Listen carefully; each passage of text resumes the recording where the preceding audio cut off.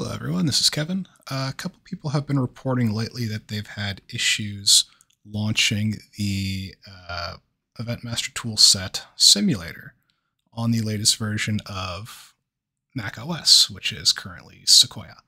So I found a little workaround here that I'm going to show you, and hopefully this gets you back up and running.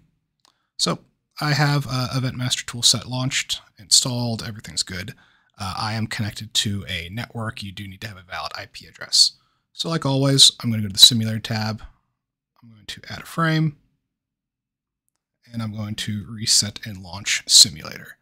Uh, now, normally this would take a moment and it would pop up discovered here on the discover tab showing you the IP address. But you're going to notice that on the latest OS, uh, it just doesn't do that. So there's two ways to do this. Way number one is if you know your IP address, you can type that in manually down at the bottom. Uh, but the other cool thing we can do is we can actually just treat this as a full local loopback, which I'm going to do right now.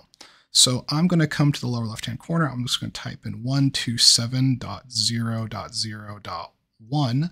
Does not matter what my IP address is on my computer. I'm going to hit Add System. And away we go.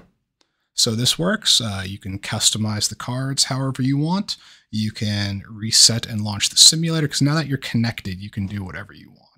So for example, I could add a second E2, reset and launch simulator.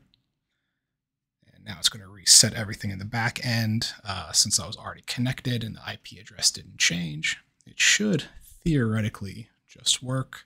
And here it is. Great. Hopefully this gets you back all up and running. Thank you.